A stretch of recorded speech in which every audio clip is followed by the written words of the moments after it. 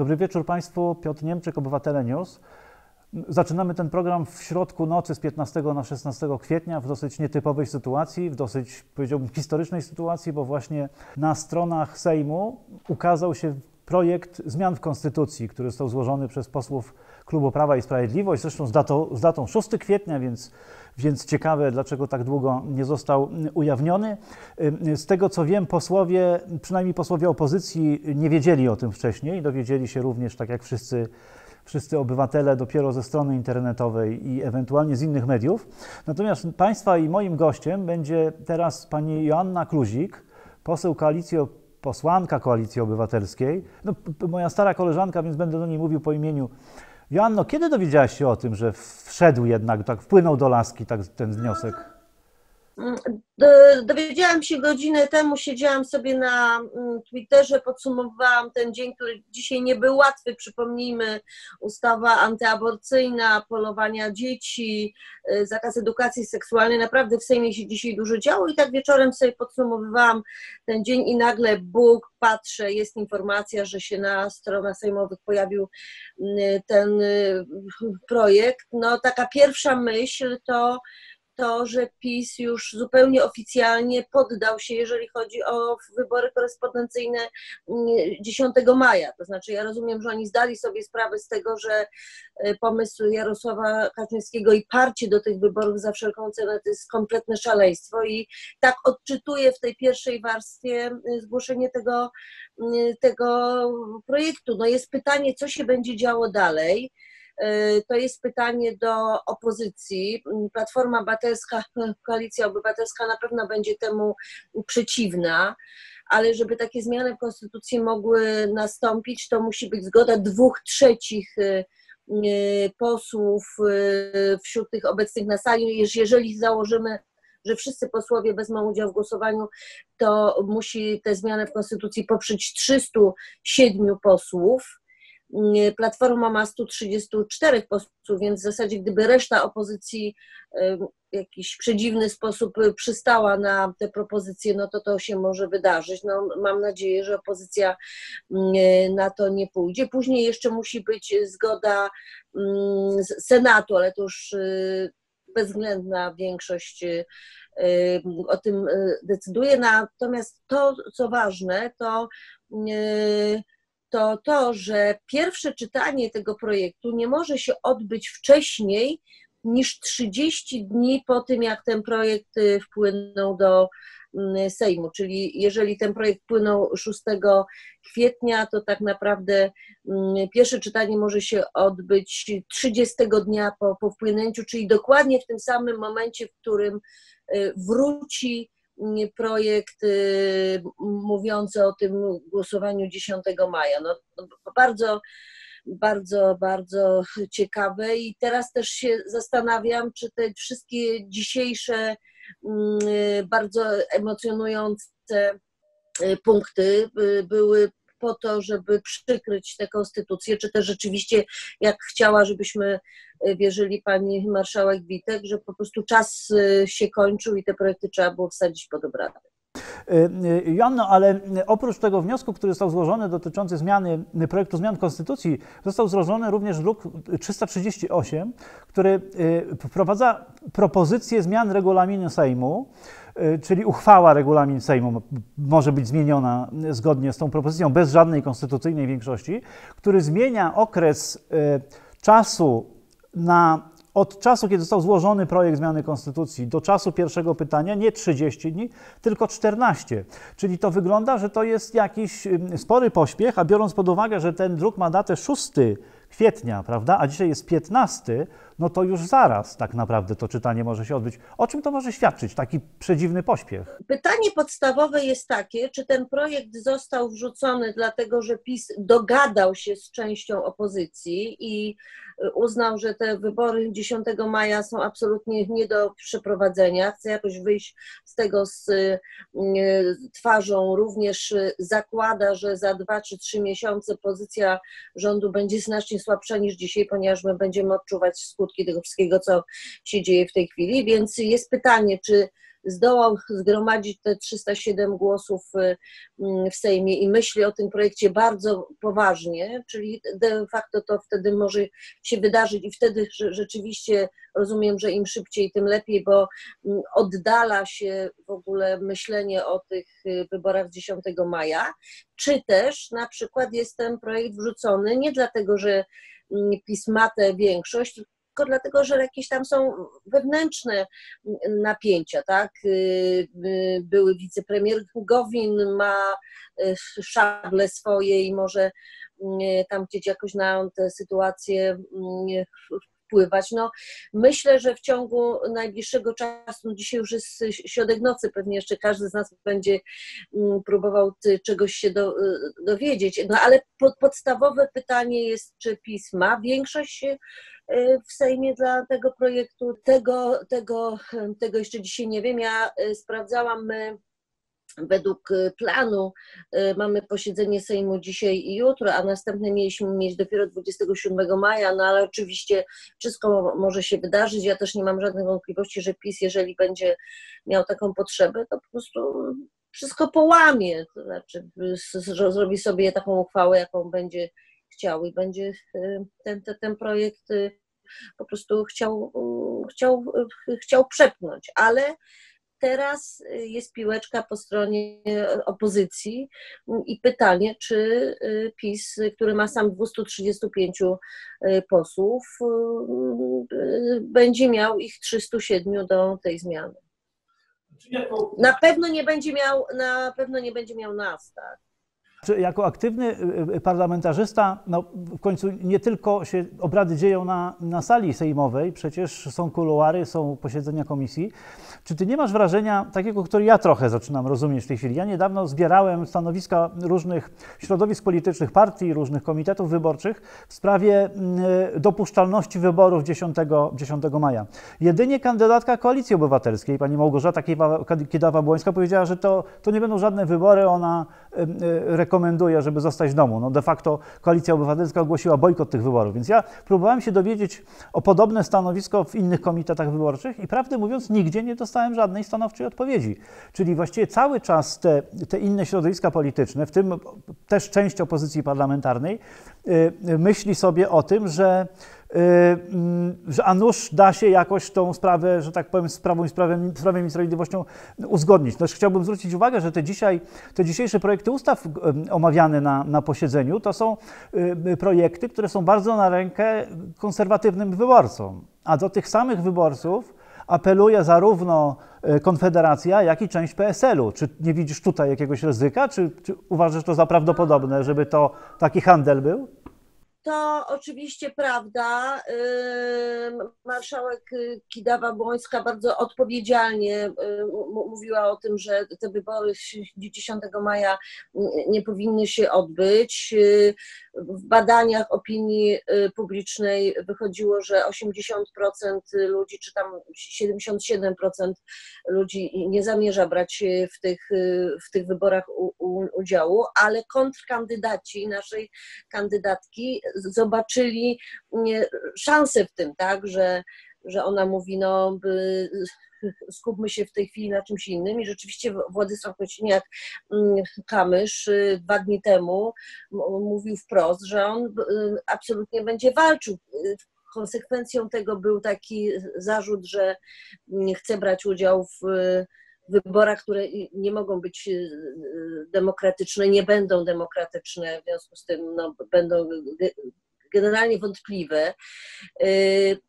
Ale też, żeby była jasność, my się ze sobą komunikujemy, ale komunikujemy się głównie za pomocą mediów Mm, społecznościowych, więc też i te rozmowy w kuluarach, te mm, rozmowy mm, już takie oficjalne, czy też y, poszczególnych klubów, no one one są znacznie, znacznie trudniejsze. No my mamy rano, y, nie rano, o 13 powinniśmy zacząć głosowania tych y, projektów, które dzisiaj były procedowane. My z wszystkich tych trudnych projektach zgłaszaliśmy wniosek o odrzucenie w, w pierwszym czytaniu.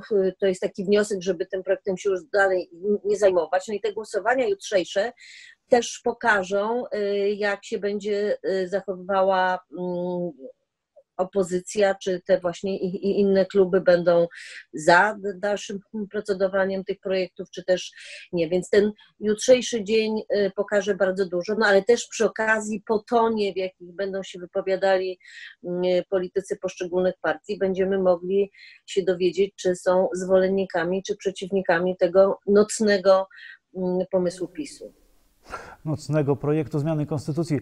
A jak myślisz, powiedz mi taką rzecz, czy, y, czy wydaje ci się, że y, ten ton będzie kluczowy, czy bardziej wyniki tych głosowań? Bo ja mam takie wrażenie, że te wyniki nam dużo więcej powiedzą niż, niż być może ton wypowiedzi, y, ton wypowiedzi, że tak powiem, szefów klubów.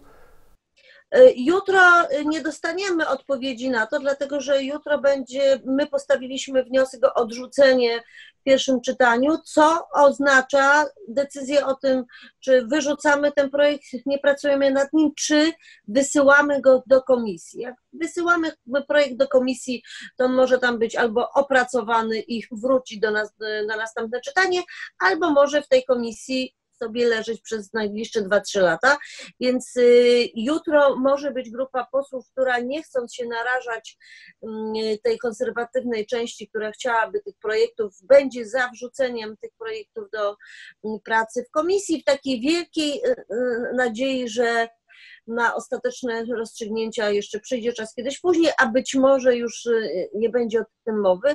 Ja na pewno będę z dużą uwagą wsłuchiwała się w to, co mówią y, szefowie poszczególnych partii czy szefowie poszczególnych klubów. Mogą nie chcieć się przyznać do tego, że mm, jakoś tam y, myślą, że ten projekt PiSu ma sens, ale jednak ton wypowiedzi będzie mówił bardzo dużo. No, pytanie zasadnicze jest takie, czy bo nie sądzę, żeby PiS y, chciał wrzucać ten projekt bez sprawdzenia, czy, czy on ma y, szansę, tak? No, no to, to, to jest pytanie. Czy on został wrzucony dlatego, że są wewnątrz PiSu tak duże napięcia i żeby mieć Gowina dalej po swojej stronie trzeba było wrzucić projekt, który nie będzie miał mm, szans, czy też y, są po jakiejś serii rozmów i mają nadzieję czy szansę, żeby te 307 głosów mieć. No. Ale tu jest taka ciekawostka, dlatego że ten wniosek podpisało 93 posłów klubu Prawa i Sprawiedliwości, w tym z jednej strony no, kluczowi liderzy dla Prawa i Sprawiedliwości Jarosław Kaczyński, także premier Mateusz Morawiecki. Ze strony porozumienia podpisał to m.in. Gowin, natomiast nie ma tam podpisu Zbigniewa Ziobry. Czy to jest też jakieś wynik jakichś tarć wewnętrznych. To jest, gdzie jedna piąta to jest dokładnie tyle, ale też i absolutne minimum, które, y, y, liczba posłów, która może złożyć wniosek o zmianę konstytucji. To musi być jedna piąta składu parlamentu. Dokładnie tyle, ani, ani, ani o jednego więcej. To znaczy, to y, znowu jest pytanie, w jaki sposób te podpisy były zebrane, bo rzeczywiście, żeby zgłosić taki projekt, to musi być jedna piąta mm, posłów. No i teraz jest pytanie, czy ta wewnętrzna gra, bo, czy, czy Zbigniew Ziobro chce tam jakieś y, swoje, mm, swoje y, rzeczy ugrać. No na pewno tak, ale ja też nie jestem w stanie rozstrzygnąć, czy po prostu było tak, że oni e, szukali tych głosów, szukali, nazbierali, żeby była jedna piąta i wrzucili, bo po prostu już nie mieli tyle głosów, ile potrzebują, czy też e, się za tym coś, coś więcej będzie będzie kryć. Jeżeli Gowin e, się jakoś tam wyłamuje, czy chce sobie stworzyć swoją przestrzeń, no to też nie wyobrażam sobie, żeby Zbigniew Ziobro tego nie chciał robić, no tylko rozumiem, że robi to tak, że my tego nie widzimy w tej chwili. No i właściwie mam ostatnie pytanie, bo też zwróciłaś uwagę na pewną zbieżność dat. To znaczy, jeżeli nie zostanie zmieniony regulamin, no bo to, że wpłynął taki wniosek, to jeszcze nie mamy pewności, no chociaż Prawo i Sprawiedliwość raczej wygrywa takie głosowania, ale to jeszcze nie jest stuprocentowa pewność, że ten termin zostanie skrócony o 14, do 14 dni. Ale zwróciłeś uwagę na tą zbieżność, że te, to pierwsze czytanie poprawki do Konstytucji, poprawek do Konstytucji może się odbyć mniej więcej w tym samym czasie, kiedy wróci z Senatu ta ustawa dotycząca y, zmian w kodeksie wyborczym. Czy to nie jest rodzaj szantażu? Czy to nie będzie tak, że y, nagle opozycja zostanie postawiona pod ścianą z taką, z taką deklaracją? Albo się zgodzicie na zmianę konstytucji, albo wybory odbędą się w przewidzianym terminie i narażacie wy, wy narażacie, bo to wasz upór do tego doprowadzi, że y, ludzie będą ryzykować zdrowiem i życiem, oddając głosy w głosowaniu, czy korespondencyjnym, czy osobiście y, w komisjach wyborczych. Czy nie boisz się takiego szantażu? No tak, tylko że to jest absolutnie fałszywa y, alternatywa, dlatego że to nie jest sytuacja, w której musi zaistnieć wersja A, czyli wybory 10 maja, albo wersja B, czyli siedmioletnia mm, kadencja prezydenta. Jest bardzo rozsądny pomysł, o którym mówimy od samego początku, czyli trzeba wprowadzić stan klęski mm, w, tej chwili i wtedy te wybory za kilka miesięcy już po epidemii będą mogły się, się odbyć. No to nie jest sytuacja, w której my musimy jedną z tych dwóch rzeczy wybrać. Nie, no. Tak, tak naprawdę jesteśmy dzisiaj w sytuacji, w której w ogóle nie powinniśmy się zajmować tego typu sprawami, tylko powinniśmy się zajmować tym, co się dzieje w szpitalach, w domach opieki. No to jest to, czym się powinniśmy zająć w tej chwili. Jak już będzie na to dobry moment, no to wtedy trzeba zrobić wybory. I jest na to mechanizm, bo wprowadzenie stanu stanu klęski żywiołowej mm, pozwala na przesunięcie wyborów. Gdyby nie ta absolutnie polityczna mm, obsesja i podporządkowanie wszystkiemu tego, żeby nie oddać władzy, no to powinniśmy się zajmować tym, co jest zdecydowanie ważniejsze dla 38 milionów ludzi. Tak, no to jest, to jest jasne, ale też warto zwrócić uwagę na taką rzecz, że ten 90-dniowy termin po zakończeniu stanu klęski żywiołowej jest nie tylko dlatego, żeby wiedzieć na pewno, że stan klęski się, że tak powiem, zakończył bez konsekwencji, e, dalszych przynajmniej, ale także po to, żeby można było odbyć normalną kampanię wyborczą. No bo to, co w tej chwili no, się działo, oczywiście. trudno nazwać kampanią wyborczą, tylko to była kampania jednego kandydata, który który się tak. lansował tak. z e, pracownikami ratownictwa medycznego. Bardzo Ci dziękuję za tą rozmowę. Przepraszam za tak późną porę. Nie ma problemu. Tak powiem, Dobrej nocy. Połączenia i, i do usłyszenia. Do zobaczenia. Jutro będziemy wiedzieć więcej. Tak. Do zobaczenia. Naszym kolejnym gościem dzisiaj będzie pani profesor Monika Płatek profesor prawa, a jednocześnie osoba, która również angażuje się w różne projekty polityczne, więc to będzie taka rozmowa nie tylko o prawie, ale również o, o polityce. E, e, pani profesor, czy da się zmienić konstytucję w taki sposób, żeby z jednej strony Prawo i Sprawiedliwość miało poczucie, że ten bezpiecznik, jaki sobie tutaj ustawiło te wybory 10 czy 17 maja, żeby to było pewne, że, e, że, że ta konstytucja się zmieni w takim terminie, że oni będą tego pewni? Czy to, czy to w ogóle jest możliwe? Mm, zacznijmy od początku. 6 kwietnia wpływa do prac Sejmu druk numer 328 i to jest poselski projekt ustawy o szczególnych zasadach przeprowadzania wyborów powszechnych na prezydenta Rzeczpospolitej Polskiej, zarządzonych w 2020. I teraz mamy sytuację taką, że dzisiaj jednocześnie z datą 6 kwietnia wpływa również projekt, to jest druk 337, o zmianie Konstytucji Rzeczpospolitej. I odpowiadając po kolei na pytanie, czy zmiana Konstytucji jest możliwa, odpowiedź jest tak. Konstytucja przewiduje warunki, w których zmiana Konstytucji jest możliwa. Natomiast powstaje pytanie, jakie jest uzasadnienie dla tego projektu, jakie jest uzasadnienie dla zmiany sytuacji, jaka została wypracowana w Konstytucji. Ja nie jestem konstytucjonalistką, w związku z tym mogę tylko słuchać tych, którzy mają tutaj znacznie więcej doświadczenia i którzy znacznie więcej najróżniejszych systemów przebadali. I to nie jest tak, że ten siedmioletni okres wcześniej się w historii nie zdarzał. On był w innych państwach i znów o szczegóły proszę się zwrócić do specjalistów od długości prezydentury. Natomiast to, co pamiętam od naprawdę specjalistów zajmujących się prawem konstytucyjnym, to bardzo wyraźne stwierdzenie, że w tych państwach, w których próbowano wprowadzić siedmioletni okres, to bodajże była Francja, nie wiem, czy to gdzieś po drodze nie była Polska, ten termin okazał się zbyt długi, niewłaściwy i równie niewłaściwe było to, że byłaby to tylko jedna wyłącznie kadencja, bo jak gdyby nie dawałaby gwarancji ani tego, że ten prezydent będzie się starał, i nie dawałaby również gwarancji że będą wypełnione zadania, które na prezydencie spoczywają. Natomiast to, co w tym przypadku wydaje się najważniejsze, to zwrócenie uwagi na uzasadnienie tego, dlaczego mamy zmienić konstytucję. Okazuje się, że w uzasadnieniu jest bardzo wyraźnie powiedziane, że jesteśmy w sytuacji, kiedy zwiększenie stabilności sprawowania urzędu prezydenta w trakcie biegu kadencji jest podyktowane sytuacją niespotykanego zagrożenia dla bezpieczeństwa prawnego i publicznego obywateli RP związanego z zagrożeniem COVID-19. No i tutaj trzeba zwrócić uwagę na to, że jeżeli mamy zmieniać konstytucję ze względu na nadzwyczajną sytuację, w jakiej się znajdujemy, to konstytucja bardzo wyraźnie mówi o tym, że to jest właśnie taki stan, kiedy konstytucji zmieniać nie można. Mamy w rozdziale 11 przewidziane stany nadzwyczajne. I teraz artykuł 228 mówi o tym, jakie to są stany. To jest stan wojenny, stan wyjątkowy lub stan klęski żywiołowej.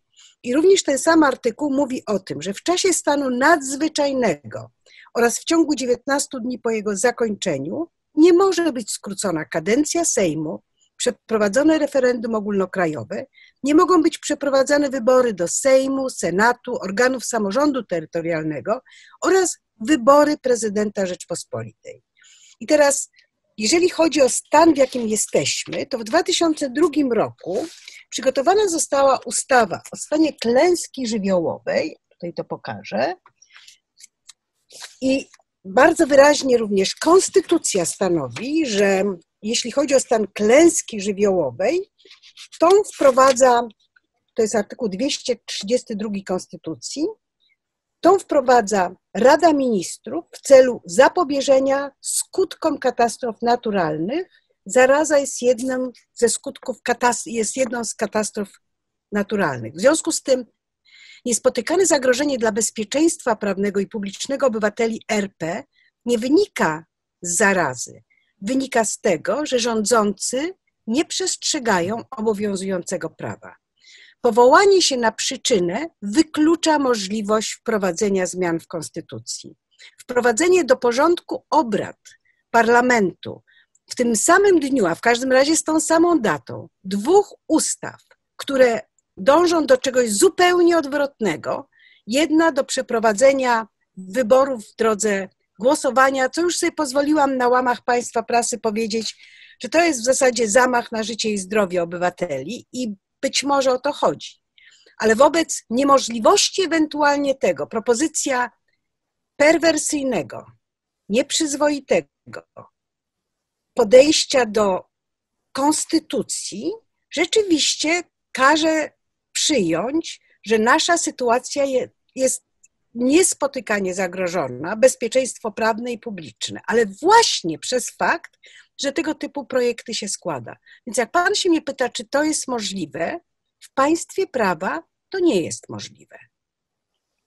Pani profesor, myśmy rozmawiali z parlamentarzystami i nawiązując do Pani pytania, jakie jest tego uzasadnienie, to oni nie potrafili wskazać żadnego merytorycznego uzasadnienia tego rodzaju działania, oprócz tego, że czy wprost, czy off record mówili nam, że prawdopodobnie chodzi o to, że PiS chce się wycofać z tych wyborów 10 y, maja i z tych wszystkich pomysłów, żeby je odbywać w trakcie stanu epidemii, jak go oględnie nazywa. Y, natomiast też chce w ten sposób przynajmniej przekupić część opozycji, pokazując, że tu będzie taki wybór: albo niebezpieczne dla zdrowia życia Polaków wybory, albo zmiany w konstytucji. I że to jest, że tu w tym wypadku jest to czysta kalkulacja polityczna, która ma z jednej strony y, pozwolić na wycofanie się, bo wyborów, których nie chce 80% Polaków, a z drugiej strony, no właśnie, rozbicie solidarności opozycji, y, postawienie jej, jej pod szantażem. Y, I teraz jest tak. Chciałem zapytać o jednak te terminy jeszcze raz, ponieważ. Ale czy możemy, czy możemy jeszcze na chwileczkę to skomentować i powiedzieć bardzo wyraźnie, że ktokolwiek z opozycji, kto podpisze się pod tym projektem, zdradzi obywateli, zdradzi konstytucję, a konstytucja jest tym, co ma chronić obywateli przed, przed naruszeniem prawa i praw obywatelskich przez władzę. Nie ma żadnych podstaw do tego, żeby majstrować przy konstytucji i nie ma żadnych podstaw do cienia zaufania i do udawania, że odchodzą jakiekolwiek gry parlamentarne, bo pozwolę sobie wytłumaczyć, że to nie jest tak, że my nie widzimy, co się dzieje. Dzisiejsze obrady w Sejmie, a wczorajsze, bo już jest 16 kwietnia, ale 15 kwietnia Prawo i Sprawiedliwość bardzo wyraźnie pokazało, dokąd zmierza. W momencie, kiedy pozwolimy na zmianę konstytucji, umocnimy, ja, ja Państwu daję gwarancję, że natychmiast po tym, jak przejdzie ten, ten projekt, zostanie wprowadzony stan wyjątkowy, zostaną wprowadzone ustawy, które ograniczają prawa obywatelskie kobiet, sprowadzając ich do, do podmiotów, które są tylko i wyłącznie rzeczami. Będzie nacisk na to, żeby jak najbardziej dzieci uczestniczyły oczywiście w polowaniach, ponieważ agresywnych, groźnych i używających broń będzie nam potrzeba więcej. Będą oczywiście dążenia do tego, żeby prowadzić edukację w sposób, która będzie ogłupiała, będzie wprowadzany stan dyktatury. My nie możemy pomijać faktu, że w ramach raportów międzynarodowych wskazano, że koronawirus jest wykorzystywany w 30 państwach do tego, aby wprowadzać rządy opresyjne, autorytarne. I na piątym miejscu jest Polska. Obok takich państw jak Chiny, obok takich państw jak Rosja, obok paru państw, do których nie chcielibyśmy się przyznawać. W związku z tym tu jest nawet. pewien ciąg polityczny i jest jednocześnie pewność, że w momencie, kiedy zgodnie z prawem powinien być wprowadzony stan klęski żywiołowej, ten stan klęski żywiołowej wprowadzany jest na 30 dni. Po 30 dniach musi być zgoda Sejmu na to, żeby go przedłużyć.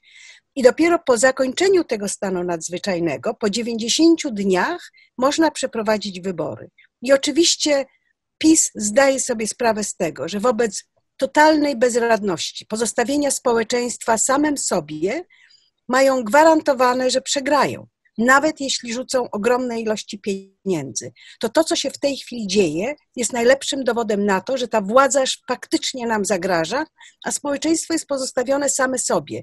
I w związku z tym i granie z naszym życiem, zdrowiem i losem parlamentaryzmu Polski po stronie opozycji byłoby bardzo szkodliwe dla nas wszystkich i dla niej samej. I proszę zauważyć, że jesteśmy w pełnej pułapce, bo ten sam minister zdrowia, który jest w tym rządzie, który parę miesięcy, parę tygodni temu opowiadał najróżniejsze rzeczy, ale który jednak zwraca uwagę na to, że w innych państwach mamy do czynienia z tym, że ta pandemia przemija.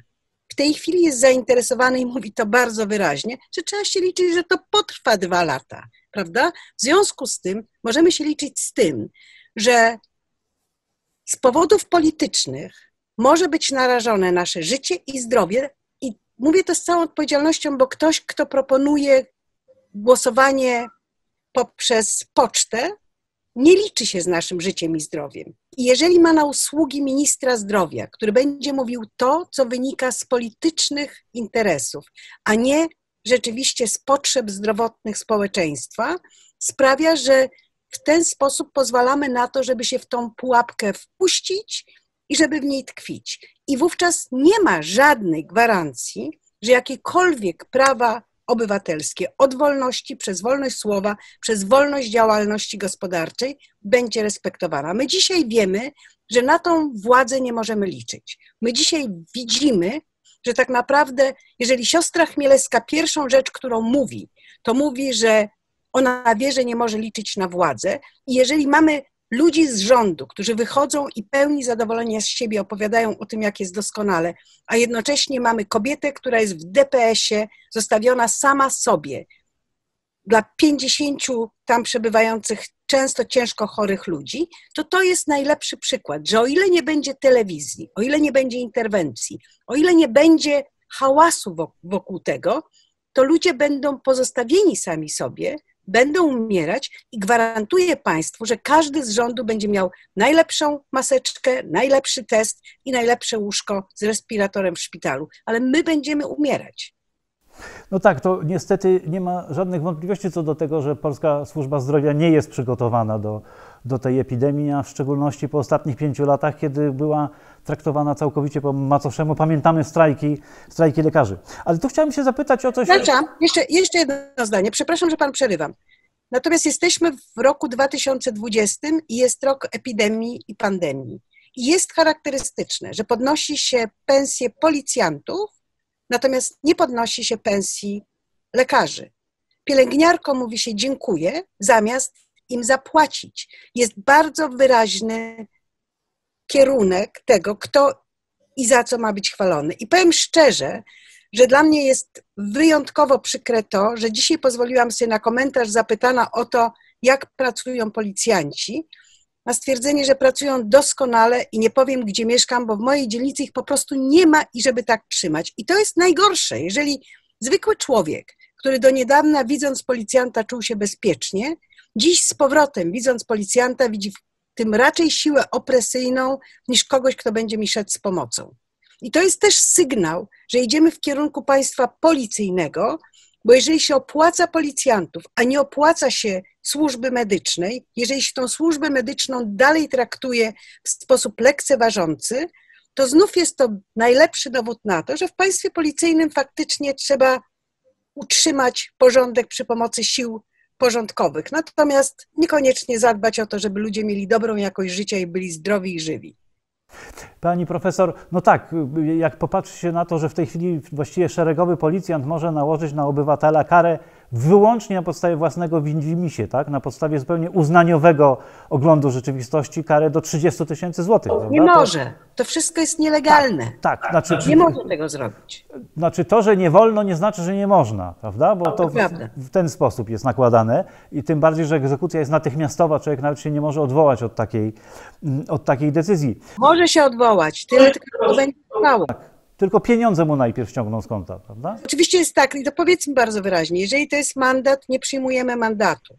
Natomiast oczywiście może być tak, że to będzie sanepid i wtedy będą z nas zgarniać. To jest takie troszkę, troszkę łobuzerskie i bandyckie zgarnianie pieniędzy z obywateli i głównie o to chodzi, bo gdyby popatrzeć na całość, to oczywiście w pierwszej kolejności należy ludzi poinformować, a po drugie jeżeli popatrzymy na całość i widzimy, że jedni są traktowani jako ci, którzy mogą być ponad prawem, a drudzy są traktowani jak niewolni, którzy mają płacić, to to jest kolejny element, który pokazuje, że nie czas na zmianę konstytucji. Nie zmienia się konstytucji z partnerem, który jest od początku nieuczciwy. A ta zagrywka jest nieuczciwa i nie chodzi tylko o prawo, bo skutek tego będzie taki, że w tym momencie ta władza nie będzie w ogóle zainteresowana tym, żeby się starać o to, żebyśmy przeżyli. A ja mam takie pytanie, które, y, y, że tak powiem, y, które adresuję z powodu Pani doświadczenia politycznego w tym, tym wypadku, już mniej do Pani wiedzy prawniczej. Mianowicie, no, wczoraj były procedowane, wczoraj, no tak, wczoraj były procedowane te projekty ustaw, które są takim próbą przekupienia najbardziej konserwatywnego elektoratu. No skądinąd wiemy, że część opozycji to są y, partie, które się, czy środowiska polityczne, które odwołują się bardzo, do bardzo prawicowych, konserwatywnych wartości. To oczywiście Konfederacja i to jest część PSL-u, który jednak też w takim etosie mm, konserwatywnym się mm, y, obraca. Czy to jest pani profesor zdaniem Y, próba przekupienia tych, tych środowisk politycznych, to jest próba przekupienia części opozycji po to, żeby, y, że tak powiem, dać im alibi, żeby nagle wesprzeć przy zmianie konstytucji partię rządzącą? Nie wiem, natomiast jest to na pewno pokazanie, w którym kierunku zmierzamy, jeżeli tego typu zmiany wejdą w życie. To znaczy, jeżeli zgodzimy się na zmianę konstytucji, jeżeli zgodzimy się na te ustawy, to jest kierunek państwa policyjnego od początku. To jest również, myślę, że za jakiś czas, nie wiem czy za 50 lat, czy za 100, ten okres będzie nazwany w Polsce pewnie neośredniowieczem. To będzie nieuczciwe dla średniowiecza, które chyba było dużo bardziej światłe niż to, co się dzieje teraz. To jest obowiązek państwa. Obowiązuje ustawa z 93 roku, która tak naprawdę zawiera w sobie zobowiązanie państwa do przestrzegania praw reprodukcyjnych. One przewidują przygotowanie dzieci od 15 roku życia do tego, aby były zdolne do podejmowania samodzielnych, odpowiedzialnych decyzji w sprawie życia seksualnego. I teraz państwo na całej linii daje ciała i tego nie realizuje. Zamiast tego proponuje jakieś igraszki z kodeksem karnym po to, żeby usunąć znowu to, co jest bardzo istotne. Tragedie ludzkie, które wynikają z tego, że jesteśmy niedojrzali, nieodpowiedzialni, i cała masa mężczyzn nie potrafi wziąć odpowiedzialności za swoje zachowania seksualne. I wreszcie, jeżeli chodzi o kwestie praw reprodukcyjnych, to to jest tak, że to rzeczywiście chodzi o kobiece ciało, ale nie tylko o kobiece ciało, bo to jest kwestia polityczna. Czy pozwolimy sobie na to, żeby powiedzieć, że ktoś inny niż osoba, której to dotyczy, ma podejmować ważne, ciężkie, poważne decyzje? Tak naprawdę proszę na to spojrzeć jako na stwierdzenie, że ponad połowa społeczeństwa polskiego, kobiety, są niezdolne do tego, żeby podejmować samodzielne decyzje. I dyskusja prowadzona na temat życia w dniu, w którym w jednym DPS-ie, w drugim DPS-ie, w trzecim DPS-ie pozostawieni są totalnie bezradni ludzie, dyskusja o wartości życia w sytuacji, kiedy w tym samym Sejmie lekceważyło się, poniżało, po, po, okazywało maksimum pogardy dla osób z niepełnosprawnościami i ich opiekunek i opiekunów, jest tak naprawdę jednoznaczna. Dyskusja w Sejmie, który przeznacza dużo większy, dużo więcej z budżetu państwa na środki do zabijania i mordowania niż na rozwijanie innowacyjnych procedur i nauki, najlepiej świadczy o tym, że życie jest pewnym pretekstem.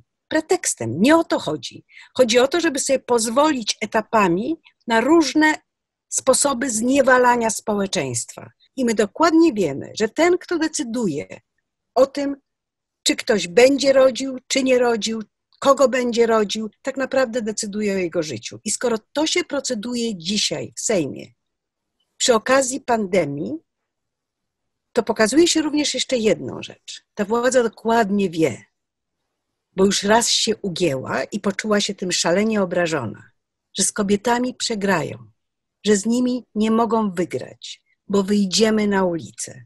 W związku z tym robi to wtedy, kiedy nas zamknęła w domu. A my w tych domach żeśmy się zamknęły z tego powodu, żeby nie narażać lekarzy, pielęgniarek i medyków na zarażenie, chorobę i zejście śmiertelne.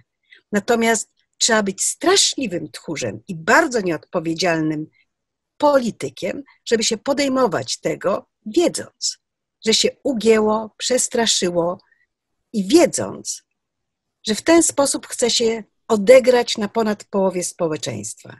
I to jest najlepszy dowód na to, że nie chodzi tutaj ani o nasze zdrowie, ani o porządek parlamentarny, tylko o wzięcie całego społeczeństwa za gębę i utrzymywania w pewnej formie niewoli. Przepraszam, że te mocne słowa, ale to niestety jest związane z tym, nad czym i w jaki sposób obraduje Sejm. No nie jest pani profesor jedyną osobą, która uważa, że cały szereg tych restrykcji jest nie tyle po to, żeby zabezpieczyć nas przed koronawirusem, ile po to, żeby zdławić pewien, pewien opór obywatelski, na przykład kobiet, które y, miały wysokie mandaty i prawdopodobnie dostaną wysokie kary od inspektorów sanitarnych z tego powodu, że jeździły samochodem po centrum Warszawy, a ekolodzy, którzy chcieliby protestować przeciwko rozszerzeniu uprawnień do, do polowań, w ogóle nie, mo nie mogą się zebrać, żeby zaprotestować.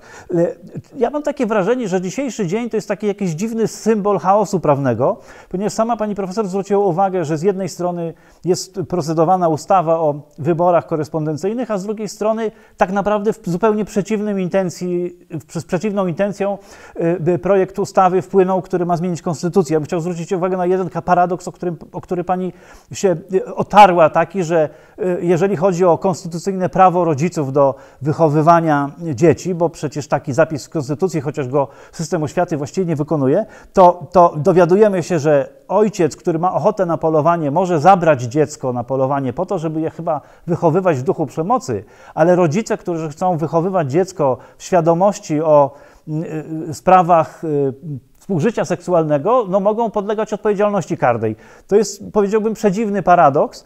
Y, czy to jest tak, że ten chaos jest też celowo robiony, czy w takie systemy autorytarne wykorzystują niejasności w przepisach, niespójności mamy, w przepisach. My nie, mamy, my nie mamy niejasności w przepisach. Konstytucja jest absolutnie jasna pod tym względem. Ona jest naprawdę przygotowana na czas zwykły i na czas zarazy.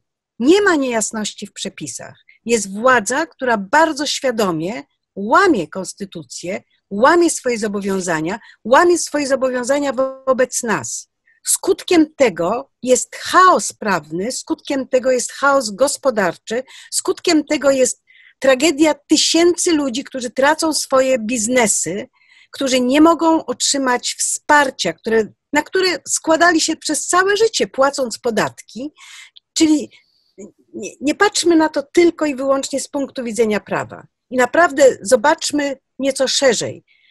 Przedłużenie w tej chwili prezydentury panu Dudzie ma służyć temu, aby umocnić dyktatorską władzę człowieka i jego całej grupy, bo to nie jest jeden Kaczyński, ponieważ zdają sobie sprawę z tego, że wobec ogromu problemów, jakie dotykają zwykłych ludzi, sympatia do nich się skończy bardzo szybko, bez względu na to, co będą mówić. W związku z tym zachowują się w sposób taki, że okazują nam, że te prawa i zobowiązania, znaczy nasze prawa nie liczą się z nimi, swoich zobowiązań nie wypełniają i łamią, łamią obowiązujące przepisy. Także tutaj tu nie ma żadnych, to, to nie jest tak, że ten chaos z czegoś innego wynika, jak poza tym tylko i wyłącznie ze sposobu, w jaki ta władza rządzi. Dobre zasady parlamentaryzmu wymagają tego, aby ustawa była przygotowana, przedyskutowana, wprowadzona. Dobre zasady parlamentaryzmu na dzień dzisiejszy wymagają tego, żeby nie tworzyć żadnych nowych ustaw, tylko żeby wykorzystać ustawę, która od 2002 roku już jest. I jeżeli w tej ustawie trzeba coś zmienić, bądź coś trzeba dodać, to ja bym chciała usłyszeć, dlaczego. Czy dlatego, że tak jest wygodnie pani Witek bądź panu Szumowskiemu, czy dlatego, że to wynika z jakiegoś rzeczywiście racjonalnego powodu? Nie ma racjonalnego powodu. Proszę zobaczyć na ciąg zdarzeń. Mamy sytuację, w której jest koronawirus na świecie, władza o tym wie i to lekceważy. Mamy koronawirusa, który wchodzi do Polski i prezydenta i Szumowskiego, ministra zdrowia, którzy sobie jadą na narty. I mamy w tym samym czasie wyprzedaż, wyprzedaż sprzętu, wyprzedaż maseczek, z zasobów, które były dostępne Polsce. W związku z tym, jakbyśmy popatrzyli na każdy krok, który się dzieje, my widzimy tutaj totalną niesprawność ludzi, którzy są u władzy, a którzy jednocześnie zagrabiają pod siebie majątek nasz wspólny. Czyli roz... i, teraz przedłużenie tego stanu i wprowadzenie ewentualnie możliwości prezydenta do tego, żeby przez dwa kolejne lata podpisywał wszystko to, co mu się podstawi, oznacza, że z państwa, które się dobijało powoli i z trudem, ale efektywnie, do tego, by być demokratycznym państwem prawa, wrócimy do znacznie gorszego stanu niż był w PRL-u. To nie jest tak, że obecnie rządzącym PRL przeszkadzał. To nie jest tak, że im tamten ustrój się nie podobał. Jedyne, co im się nie podobało, to było to, że pierwszym sekretarzem nie był Jarosław Kaczyński i spółka. To jest to, o co tak naprawdę chodzi. Natomiast my już dzisiaj mamy doświadczenie, co to znaczy żyć w wolnym państwie. W związku z tym powrót do tamtego pierwotnego stanu jest o wiele bardziej bolesny. Na dodatek jesteśmy społeczeństwem dużo bardziej bogatym, czyli obrabowanie nas tego i zniszczenie potencjału zarówno kulturowego, społecznego, jak i finansowego i doprowadzenie tego kraju po raz kolejny, naprawdę tym razem do ruiny, którą nam obiecywał, jak się okazuje, Kaczyński, e, byłoby katastrofą. Stąd też powróćmy do tego, o czym była mowa na początku. Żaden z posłów, żaden, to co robi Gowin jest nieuczciwe. Po prostu chce się utrzymać u władzy. Jest nieuczciwe, bo każdy z nich ma obowiązek czytać konstytucję. W związku z tym, którykolwiek poseł, który się podpisze pod tym pomysłem, zdradza nas. Ale Chciałbym pani profesor wrócić do tego pytania, które zadałem, bo jednak jesteśmy w takiej sytuacji, w której o tym, czy łamaliśmy, złamaliśmy prawo na przykład stanu epidemii, czy nie, już abstrahując od tego, czy to jest zgodne z konstytucją, czy nie, o tym decyduje funkcjonariusz, o tym decyduje szeregowy urzędnik inspekcji sanitarnej. W pewnych sytuacjach w ogóle nie ma możliwości, jest tylko formalna możliwość odwołania, bo wiadomo, że to odwołanie zadziała dużo później niż y, ewentualne, y, y, że tak powiem, doświadczenie sankcji z tego tytułu. Czy czy to nie jest celowe działanie, które polega na tym, że jak najwięcej zależy od osoby, która uznaniowo decyduje o tym, jak należy stosować prawo? Czy to jest wyposażenie funkcjonariuszy w możliwości dużo szersze niż niektóre sądy nie mają? Tak? Czy, to, czy, czy to jest to tworzenie tego rodzaju anarchii prawnej to jest też logika zmierzania do dyktatury, czy to jest y, tak, po prostu zwykły ma rację. To jest rzeczywiście stan anarchii prawnej, który jest, który w efekcie zmierza do dyktatury. Nie wiem, czy przypadkiem nie ma na celu wprowadzenia takiego takiego stanu, gdzie zabiera się ludziom jak najwięcej majątku, jak się da, a z drugiej strony wprowadza się ich w stan e, poczucia, że nie mają na nic wpływu, że, że nie mogą o sobie decydować. Przypomnijmy o tym, że jest w internecie taki, takie oświadczenie.